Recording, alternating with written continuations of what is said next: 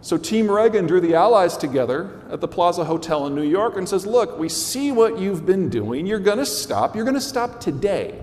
Because if you don't, the Americans will withdraw from the global order and you can deal with the energy markets and the Soviet Union by yourself because we got a side deal.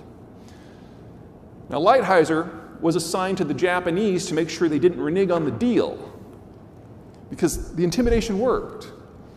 Currency manipulation didn't stop, it reversed. The US dollar dropped by half. And while Lighthizer was in Tokyo, he'd get his marching orders from the White House. He'd walk into the Ministry of Finance and lay out the American position. And then, when it was the Japanese's turn to issue the rebuttal, he'd actually take off his translator microphone, disassemble it on the desk in front of them, and have a little G.I. Joe war with the pieces while they spoke. You know, when they'd finished, he'd scoop it back together, put it on his ear, say, Well, that was riveting. I hope somebody really wrote that down, but we're going to do it my way, right? He makes sure he holds all the cards and that he's got backing from his boss, and then he forces the issue. This is the guy in charge. Quick walk around the world so you know where we stand. The first trade deal that was modified were the Koreans. President Moon of South Korea was smart enough to realize that there is no version of a world without the United States in it in which his country continues to exist. His country is trade dependent, and from a security point of view, if it's not North Korea, it's China or Japan. It's a tough neighborhood. So, at his first opportunity, Moon walked into the White House and says, You don't like our bilateral trade deal. Okay. How do we change it so that you do? The technical talks were over in six weeks. Is it enough to keep the Americans involved the day that American troops are needed? Moon doesn't know. Trump doesn't know. I don't know. Nobody knows. But without the modification to the KORUS deal, the answer would have been absolutely not. Next up were the Mexicans. Now, on the left there, you've got Enrique Pena. He's the outgoing leader. He is, from an American point of view, the best partner we could have ever had in Mexico City. Fluent English speaker, pro trade, pro business, wanted deals on migration, cooperation against the cartels, breathlessly corrupt. He was just the perfect partner. He would call up Obama, and Obama wouldn't pick up the phone. He would call Trump and only get insults hideous series of wasted opportunities. The new guy, that's Lopez Obrador, AMLO. He's, wow, he's fun. He combines the political corruption of Hillary Clinton and the anti foreigner sentiment of Donald Trump, and the shrillness of Elizabeth Warren, the blind ideology of Ted Cruz, and the pathological refusal to do basic mathematics of Bernie Sanders, just all in one guy. Megalomaniac and he looks at Trump and he's like, it's like looking in a mirror. Therein is light and opportunity. Say what you will about AMLO. He was smart enough to realize that if he got in a pissing contest with Donald Trump, it would consume his presidency. And he sees himself as the Mexican equivalent of Bill Clinton, a leader of national renewal. He didn't want that.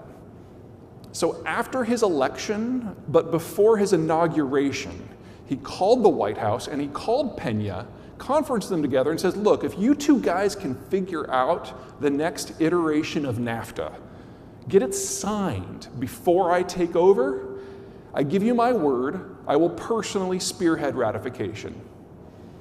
It worked.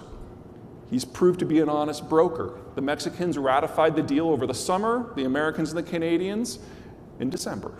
It's done. Trump actually signed it today. All right, we're somewhere warm, so there have got to be Canadians here. Where are you? Come on, show me my Canadians. All right, a bunch of you. Yeah, security in California sucks. Uh, this is Chrystia Freeland. She's the Canadian Deputy Prime Minister. She's the second most powerful person in the country. She used to be Foreign Minister. She got kicked upstairs with the last elections. Now, in my opinion, Minister Freeland is one of the 10 smartest people in Western civilization today. Four years ago, I beat her in a debate but we're not here to compare records. Freeland's biggest advantage, I think, is she knows how to keep her ego in check, which for a politician is kind of a big deal. Now, she became foreign minister the week that Donald Trump became president. And because she's the foreign minister of Canada, her first big meeting with a foreign leader was with Trump. And she realized not five minutes into that first encounter that she was absolutely the wrong person for the job. So, everyone has their own personality quirks. Tom's biggest one is that he feels he must be the smartest person in any given room. And as long as Minister Freeland was in the same time zone, that was never going to happen. So, she knew that she had to step back for managing day-to-day foreign affairs with the United States. She couldn't be the face of the relationship. She needed someone else to put in front, someone with a nice smile and a great head of hair and a tight outfit and a tighter body.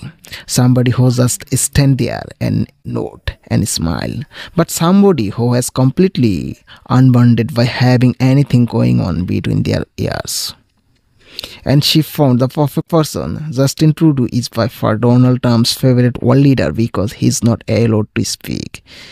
He just stand there and nods and smile. And Donald Trump inter Nel monology fills in all the gaps and it's very complimentary. The Canadians call it the hug offensive.